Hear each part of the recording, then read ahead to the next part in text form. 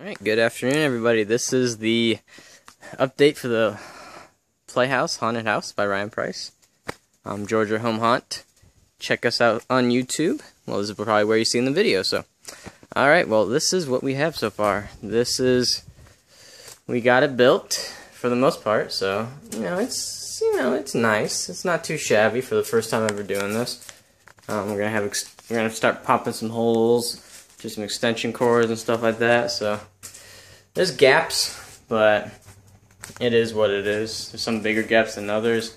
This is the long hallway that I'm talking about. I'm not done with this wall, but once I finish that wall, this is still going to be a pretty good sized hallway that we're going to be able to put a lot of stuff um, up against. Um, and then we kind of just finish up in out here. So that was a day's worst work. Um, got a lot of stuff taken care of. So there's a zombie fence, and then we'll start working on the downstairs momentarily. But it's coming together, so I am happy. So this is the uh, another update from the Georgia Home Haunt, Ryan Price, um, Playhouse Edition. Later.